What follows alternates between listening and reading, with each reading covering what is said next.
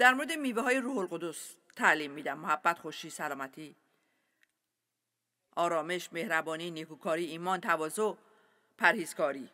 امروز درباره مهربانی و نیکوکاری حرف می‌زنم. مهربانی و نیکویی. فرق بین دوتا چیه؟ خیلی شبیه همن.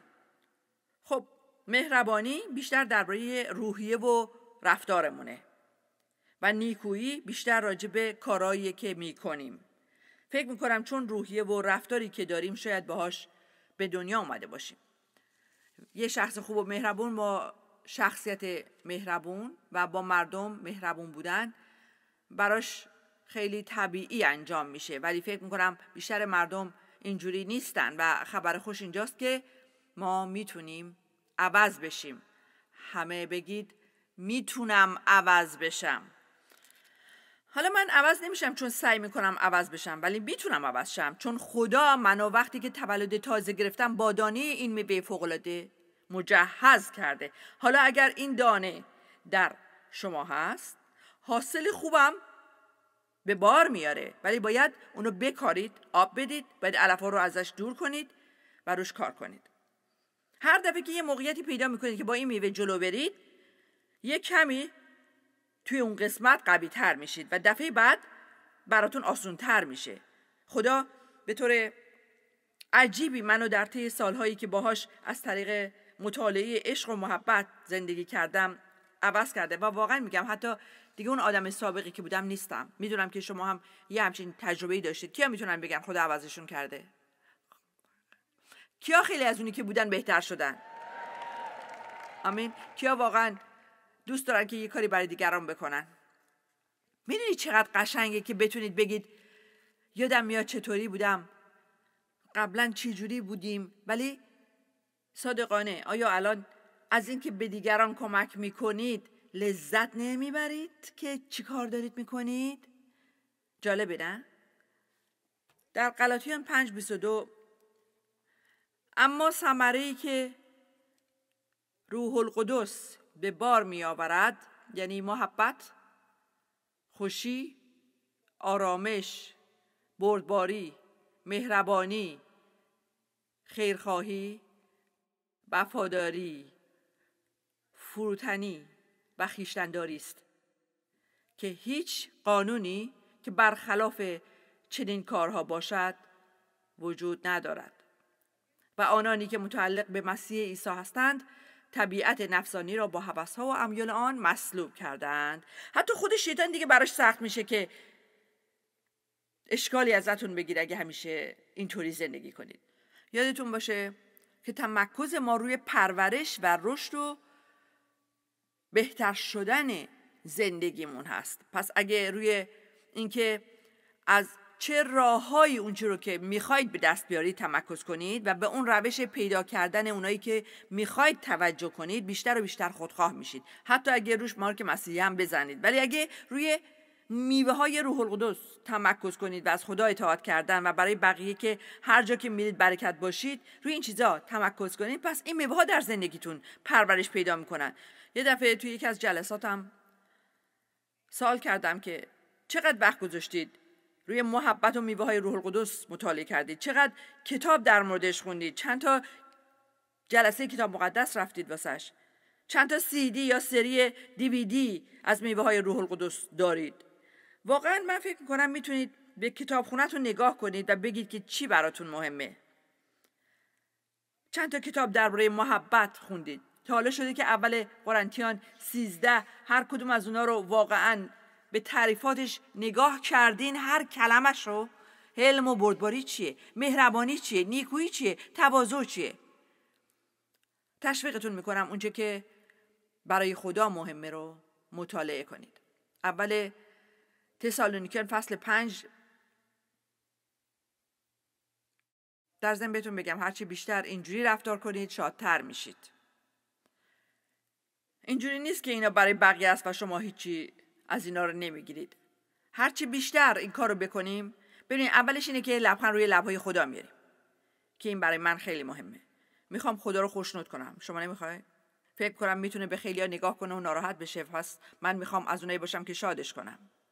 پس لبخند رو لبش میاره و همینطور هرچی بیشتر اینا رو انجام بدید خودتون شادتر میشید. خودتون. هرچی بیشتر با میوه های روح القدس راه برید سریعتر شاد میشید.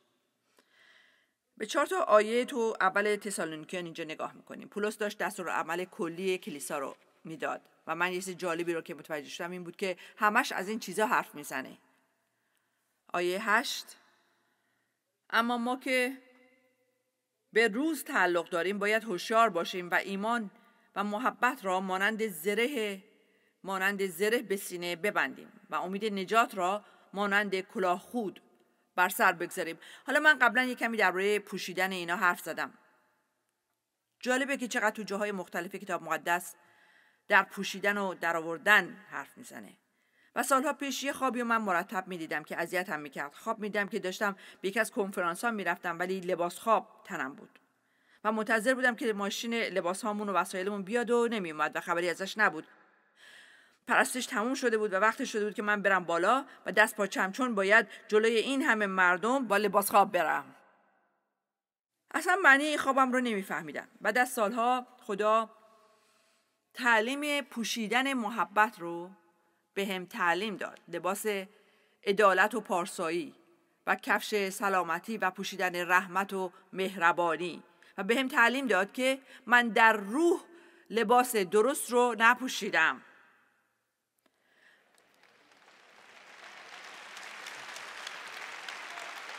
حالا چطوری از نظر روحانی یه چیزی رو میپوشید؟ با از نظر روانی آماده شدن. پس بهتره بهتون بگم اگه در مورد مهربان بودن و با محبت بودن فکر نکنید. نمی‌تونید اونجوری باشید. باید دربارش فکر کنید. فکر کنید که امروز که تموم شد چیکار بخواید بکنید؟ آیا از قبل تصمیمتون رو گرفتید؟ که امروز به یکی برکت بدید؟ امروز صبح به یه چیزی اینجوری فکر کردید؟ من فکر کردم ولی بهتون نمیگم چون فکر می‌کنم من آدم خوبیم بله جویز آفرین. بهتون میگم من اونقدر سالهای عمرم رو به سختی گذروندم تا بالاخره یاد گرفتم که چطور با شادی زندگی بکنم. می‌دونید چرا؟ هرچی خدا رو خوشنودتر کنه خودتون خوشحالتر میشید. روح اون در شما زندگی می‌کنه. روح القدس رو محسون کنید خودتونم محسون میشید. اگه اون لبخند بزنه شما هم لبخند می‌زنید. برنامه ریزی کنید. که برکت باشید. از قبل نقشه بکشید. وقتی یکی ناراحتتون می‌کنه بلافاصله ببخشیدش. از قبل برای سریع بخشیدن برنامه داشته باشید. از قبل برای انفاق و بخشش برنامه ریزی بکنید. از دیگران خوب تعریف بکنید. تشویقشون کنید. خداوندا این هدف امروز هر جا که میرم نمی‌دونم امروز چند نفر رو می‌بینم 15 20 نفر. ولی هر کسی رو که ببینم می‌خوام یه قشنگ کوچیکی بهش بگم که وقتی از پیشم میره احساس بهتری بکنه از اونچه که وقتی پیشم اومده. کیا می‌دونید که هرچی بیشتر فکرتون رو از روی خودتون بردارید آزادتر میشید. بزرگترین چیزی که خدا منو ازش آزاد کرده خودمم. یعنی زندگیم همش این بوده. که بگم من من من من من من من من من من من من از دست خودم خسته شدم کیا اینجوری بودم و می‌خواید از خودتون آزاد بشید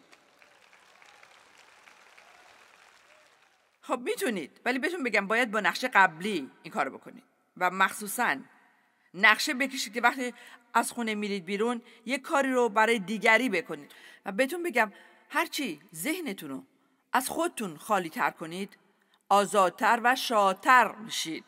پس دوباره می‌خوام ازتون بپرسم. نمی‌خوام حالا بلند جواب بدید. فقط می‌خوام یه حساب و بررسی برای خودتون بکنید. آخرین دفعه که نشستید و برای نیکوکاری نقشه کشیدید کی بوده؟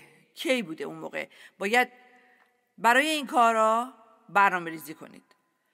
راه لباس محبت رو پوشیدن با تصمیم گرفتن برای محبت کردنه. لباس نیکویی کردن رو پوشیدن. با تصمیم گرفتن برای نیکوکاری کردنه. لباس مهربان بودن پوشیدن با تصمیم گرفتن به مهربان بودنه. کسی رو زیر فشار نمی‌ذارم. فقط میگم عیب نداره. مردم به اندازه کافی تو دنیا استرس دارن. لازم نیست ما بهش اضافه کنیم. شیطان به اندازه کافی مردم اذیت می‌کنه. لازم نیست به شیطان کمک کنیم. پس بهتر شاد باشید چون من این پیغامو عوض نمی کنم.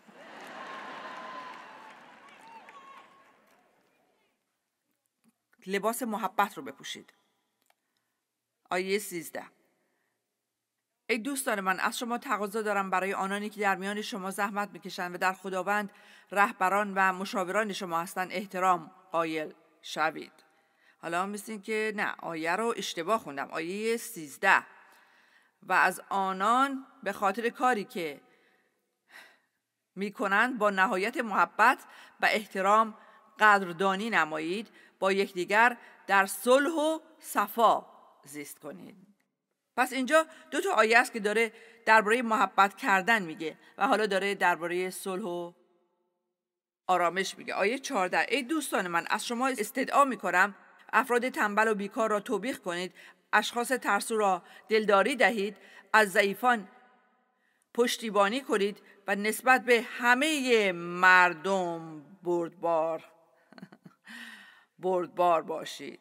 مواظب باشید که هیچ کس بدی را با بدی تلافی نکند بلکه هدف شما این باشد که پیوسته به یکدیگر و به همه مردم نیکویی کنید. بلکه هدف شما این باشد که پیوسته به یکدیگر و به همه مردم نیکویی کنید. اینجا فقط تمام اول تسالونیکیان پنج یه دستور عمل ساده میده. انگار پولس نشسته و داره میگه به مردم ببینید من می‌خوام بهترین زندگی که می‌تونید داشته باشید. بله مثل برای ما مرد که ما زندگی فوقلادهی داشته باشیم. کلیسا می‌خوام بهترین زندگی ممکنه رو داشته باشید. اشخاص گم شده زیادی بیرونن مسیح رو نمی‌شناسن. بیاید بریم تو دنیا طرز زندگیمونو پیغامی برای اونها بکنیم. باشه که مرتب پیغام رو بهشون بدیم. ولی فقط وقتی لازم شد حرف بزنیم. بذاریم روحی و رفتارمون موعظه بکنن. می‌دونید می‌تونید با جملاتتون با اونا بحث بکنید. ولی با ثابت بودن رفتار درستتون هیچ کس نمی‌تونه بحث بکنه. شنیدید؟ شاید یه خانمی هستید که اینجا شوهرتون نجات نداره و سعی کردید که کلام خدا رو بهش بگید و بگید که چیکار بکنه و اون اصلا توجه به این چیزا نداره. ولی بهتون بگم اگه پنج سال مرتبا میوه های روح القدس توی خونتون باشه حتما توجهش جلب میشه. میگید پنج سال؟ آه مثل اینکه صبر بیشتری لازمه. ولی جدا میگم مثل اینه که پولس با تسالونیکی نشسته مثل من که با شماها که مال اوهایو هستید نشستم. شماها که اینجا نشستید و میگم برای داشتن یک زندگی عالی محبت رو بپوشید. مردم رو تشویق کنید همه رو بنا کنید. با خودتون در آرامش باشید.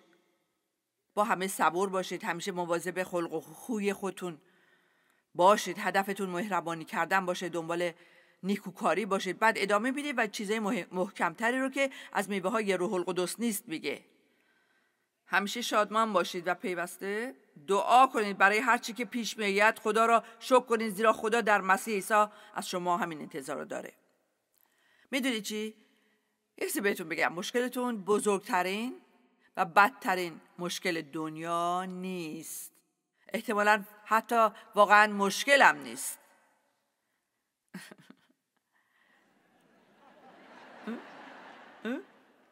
میگید خب پس مشکلم چیه؟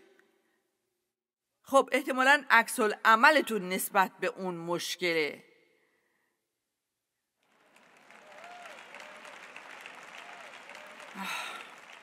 حالا یادتون باشه من امروز یه کمی خستم.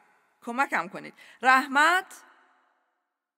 مهربانیه و مهربانی رحمته. و وای که ما چقدر رحمت خدا رو دوست داریم. وای رحمت خیلی قشنگه. ما اشتباه می‌کنیم و فقط خدا ما رو میبخشه. هرگز ما رو رد نمی‌کنه چون همه کارامون دقیقا اونی نیست که اون می‌خواد بکنیم. رحمت اون هر روزه تازه است. هر روز صبح. متوجه شدم که هر روز یه عالمه تازه به هم میده. چون دیروز همش استفاده کردم. بعضیاتون باید بلند شید. برای اینه که صبح با خدا وقت گذاشتن خیلی مهمه. من از اون آدمای سهرخیز نیستم. خب. دلتون می‌خواد یه روز کاملا تماما بد و خرابی داشته باشید؟ پس یه چیزی لازم دارید که روزتون رو باهاش درست شروع کنید. اگه یه آدمی هستید که نمی‌تونید ببینید پنج پنج دقیقه سه دقیقه یا توی مایه ها برای خدا بذارید. نمی‌دونم خودتون رو توی برای پنج دقیقه زندانی کنید و دعا کنید. بگید خدا کمکم کن. کمکم کن. لباس محبت رو می‌خوام بپوشم. می‌خوام امروز که از تو خونه بیرون میرم با مردم درست رفتار کنم. وقتی مشکلات اذیتم می‌کنن نظر سر یکی دیگه خالی کنم. برنامه ریزی کنید که رفتارتون رو خوب بکنید. کیا می‌دونن که این نصیحت خوبیه؟ ولی می‌دونید ما اغلب چی کار می‌کنیم؟ چجوری هستیم؟ بر اساس احساساتمون. جلو میریم. کلی بدبختی دارم. حالم خوب نیست. دست خودم نیست اینطوری می‌کنم. مشکلاتم زیاده. ناراحتم. همه مشکل دارن؟ شما تنها نیستید که مشکل داره. همه مشکل دارن. و مهم نیست چه مشکلاتی دارن. همیشه یکی اینجا هست که مشکلاتش بیشتر و سختتر از شماست. رحمت خیلی قشنگه. بیاید به متا 11 28 نگاه کنیم. فقط دارم تشویقتون می‌کنم که بهتر بشید. می‌تونم بگم من یه مسیح بد اخلاقی بودم. خب اقلا اعتراف می‌کنم. می‌دونید؟ تا کلیسا میرید نقابتون رو در میارید و میپوشید. خب خدا رو شکر. مرسی مسیح جان. جلال بر مسیح. هللویا. آمین آمین آمین. او شبان عزیزم تو چقدر خوبی. عاشقتم خواهر عاشقتم. آمین. بعد میرید خونه. تو این خونه معلومه چه خبره؟ دیگه از دست و کاراتون خسته شدم. اصلا نمی‌تونم تحملتون کنم.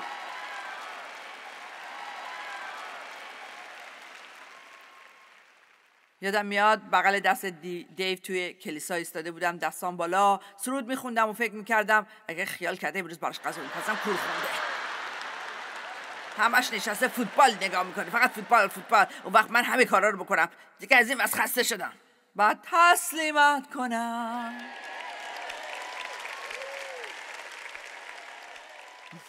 به نظرتون آشنا میاد؟ چی باعث میشه که مسیح برامون اینقدر جذاب و قشنگ میشه؟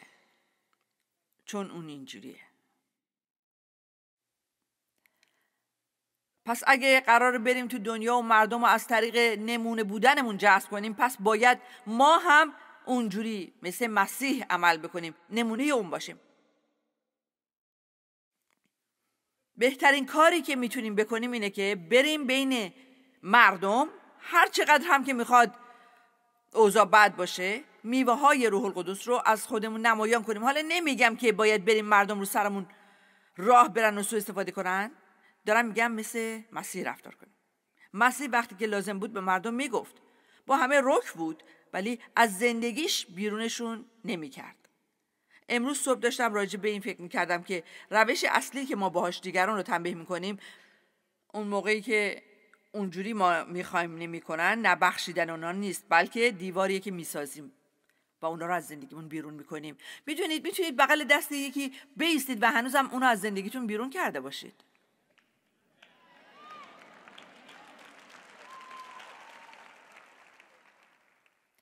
به اجازه نمیدم. دیگه نمی‌خوام. نمی‌ذارم دوباره اذیتم بکنی. می‌دونی چی؟ اگه نمی‌خوای اذیت بشی پس محبت نداری.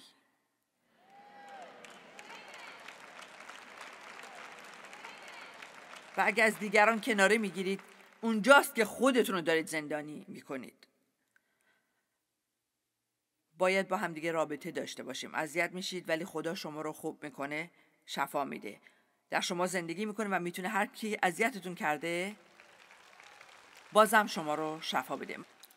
متا 11 28 مسیح گفت بیایید نزد من ای تمامی زحمت کشان و گرانباران و من به شما آرامی خواهم داد. یوق مرا به گردن گیرید و از من تعلیم یابید. زیرا من بردبار و فروتن هستم و جانهای شما آرامی خواهد یافت. زیرا یوق من آسان و بار من سبک است. زیرا یوق من آسان و بار من سبک است. حالا می‌دونید اینو من از کجا گرفتم؟ مسیح با بقیه خیلی ساده و راحت کنار می اومد بذارید یه سالی از شما بکنم. آیا راحت میشه باتون دمخور بود؟ سکوت کنید صبر کنید.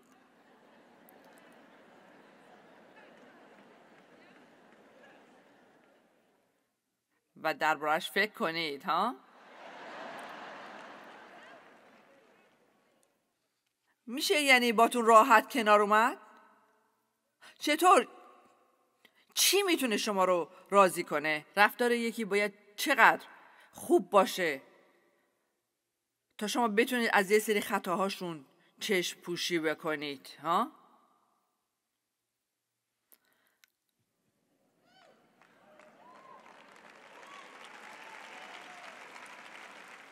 امروز یه سری مقدسین رو قلقلک کردم. تحمل داشته باشید یه نیم ساعت دیگه داریم. با دیو همیشه کنار اومدن آسون بوده ولی متاسفانه من سالهای سال خیلی بد اخلاق بودم خیلی. و کنار اومدن بام سخت بود یعنی غیر ممکن بود که بشه منو شاد و راضی نگه داشت. چون من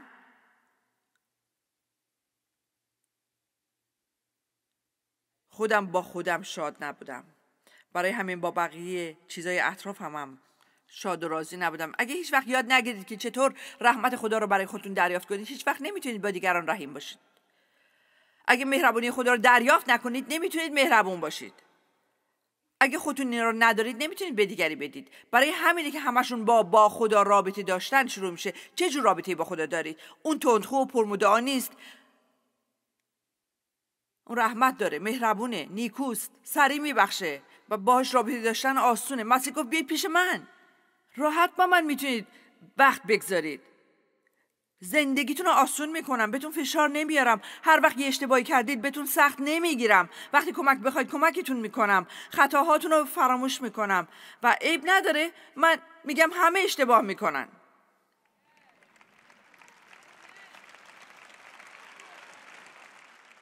میگید خب جویس می‌دونی اگه اینجوری باشی مردم زیر پا لهت می‌کنن.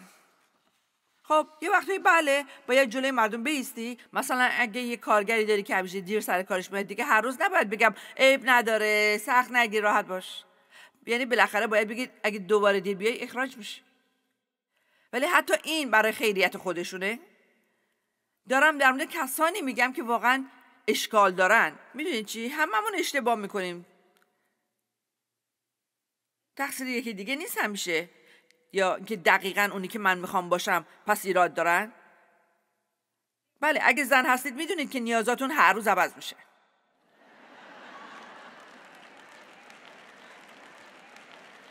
یه روز میگید بغلم کن ببوسم فردش میگید به من دست نزن.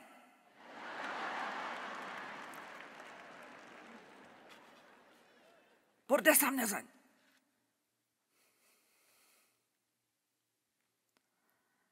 بدبخت مرده میگه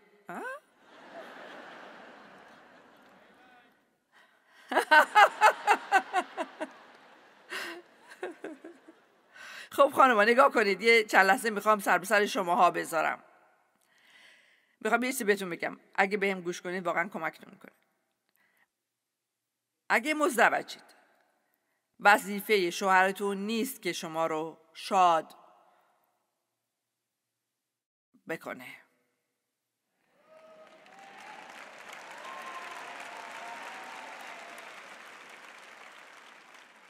میگید مگه قرار نیست منو شاد بکنه؟ بهتون بگم از کجا شروع کنید از اونجایی که هر کاریو که می‌تونید برای شاد بودن اون بکنید